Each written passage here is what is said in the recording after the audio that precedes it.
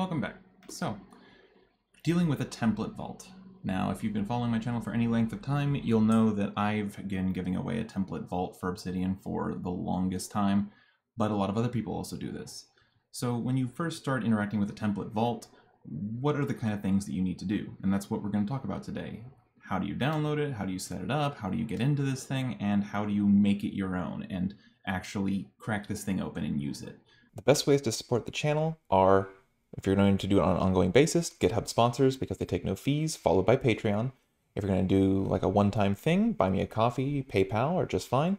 And if you just want to support me without any money involved, the best thing you can do is like, comment, subscribe, share the video, and that's it. All right, so first things first, we need to actually download the thing. So this is like an example of the template vault that I give away. So you get to the link that I provide when you sign up to my newsletter. Link to that's always in the description. And we're going to download this. So download and yada yada, yes, download, and put it onto your machine. So let's go to downloads, save, and now I got it downloaded. So now I got this zip file. Now I'm going to unzip this. It might look different on Windows, but we're basically going to unzip that file. Now, if I open this up, you can see this is the template vault. So I'm also going to rename this. Hello, YouTube. Okay, so that is now the name of the vault. It's in my file system, so now what do I do? Well, the next thing we're going to have to do is import this into Obsidian. You guessed it. So let's open up Obsidian, and we're actually going to go to um, this little icon over here, opening a vault, and we're going to say create or uh, open folder as vault because the folder already exists. The vault exists already. So now we're actually going to open up the folder. Open.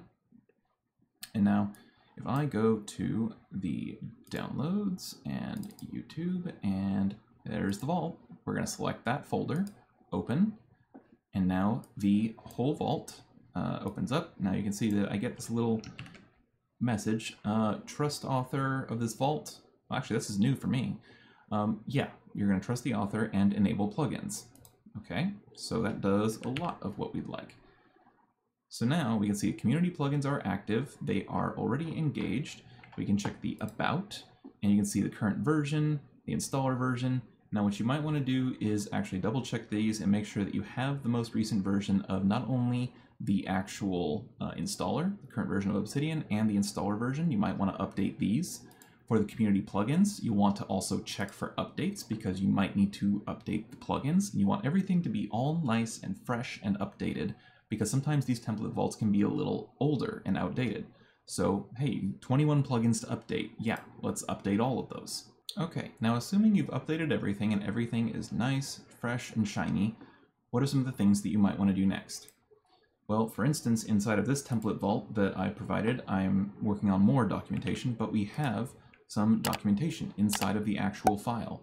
So we can you know, take a look at this, read what's going on here, and there might be additional explanations, things going on, uh, stuff you might want to actually look at, you know, explore a little bit, figure out what's going on here, what is in here, and from there, you'll learn a little bit more about what is inside this vault and what you can do with it. So check the documentation. The next thing you might want to do is go to the settings down here in the bottom left and actually configure your plugins, your key bindings, uh, and take a look at what you have already established here. So if I look at hotkeys, you can see there's some conflicts. Those might, that might not be anything to worry about, but you might want to actually explore what things are actually mapped because this can be very important. This actually determines a lot of the behavior of your vault. So if you've been following mine, my key bindings don't really change much. Uh, there you go. And also, like I personally use Vim a lot, so uh, I might sometimes forget to actually turn off uh, Vim. It doesn't look like I did here, or actually it's the probably core plugins. Vim, yeah, I don't see it uh, anywhere in there. Editor, actually that's probably where it is. Vim key bindings, okay, so I did leave it off. Now sometimes you'll might you might want to check here because this you'll have to turn it off if you don't want to use Vim or if you're suddenly like, why isn't this vault working? Why is nothing working? Check that Vim is turned off if you don't want to use it. I love it, so I turn it on for myself, but other than that, actually go through your community plugins. You can go through the bars over here and check your settings. check all the settings, figure out that things are set up the way that you want them to be, check your key bindings, and then once you've done all of that like infrastructural configuration, um, you want to start configuring your tags.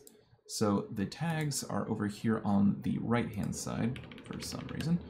So there are some tags already existing inside this template vault. It follows my existing system. Actually, I need to update this a bit, but these are where all of your tags are. And then figuring out, based on my template vault anyways, I do have a note called tag taxonomy that explains like what's going on with these.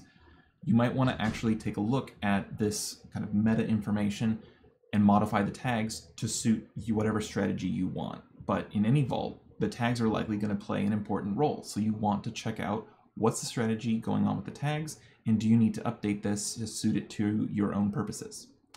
Now the next thing you might want to do is configuring the global graph. So the global graph, um, you can see that it does have some colors already in existence, and this is partly due to you know settings on the graph that's saved as part of the Obsidian metadata, but also there is some configuration in the CSS theme for this vault, or for any vault. But my personal uh, CSS theme is provided with this template vault, so there are a lot of custom things in there that you also might want to take a look at. And if you've seen my custom CSS file, you'll know that I have a lot of organization in there. You can search by different tag numbers to find different entries inside of the giant file. It's like a table of contents. And there's a lot of CSS to change a lot of the way that things look. And that's the way that I like it. So you want to check out these things. Now, starred files have been replaced by book uh, bookmarks at this point in time. So you'll want to check out if there are any existing bookmarks, or if not, you might want to start making some and add your bookmarks here to keep uh, control and navigate better inside of this vault that you've now you know, taken on, and just become more familiar with this. And then lastly for the configurations is you'll want to configure how you want your tab layouts. So some people like to have, you know, this sidebar and have several different tabs here. Like um, I like to do the uh, calendar here, and then I also put like the backlinks on the lower part, the incoming links, and then the outline on the second half. And I like to do this personally, that's just me. But configure how you want your tabs laid out. And if you do take advantage of it, there is also the workspace plugin, which I'm not sure that's Canvas. Uh, manage workspace layouts. And so you can actually manage your layouts and figure out um, if you want to save different layouts for different purposes into um, a particular you know saved layout. You might make use of that. I am not making too much use of that right now, but it can always make a comeback. If you're inheriting a, note, uh, a vault from somebody else, I highly, highly recommend you create a tag taxonomy note for yourself. It's not just for tags. It's also for just for like the metadata about your vault, how you're structuring and going about using this particular vault. And this can be useful for any template vault. So I highly recommend you fill out one of these and go through it and define and codify everything that you've done to that template vault.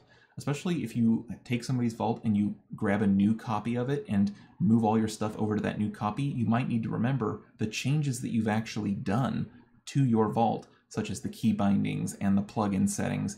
These are all things that you'll want to pay attention to especially if you're going to upgrade versions of a template vault. Now, if you're paying for the Obsidian services of sync and publish, you'll want to actually configure those. Um, you can see I have one set here in this template vault, but you probably remove that and then actually implement your own.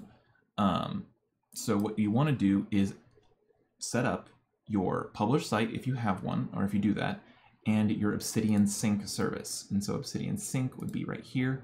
And so if you have these services, if you pay for them, they are awesome. Set them up and get yourself ready and set up. And then finally, the last thing you might want to do is, again, open up that global graph and just explore a little bit. Play around with the vault, see what's been provided for you, and have fun. Always remember to have fun with this.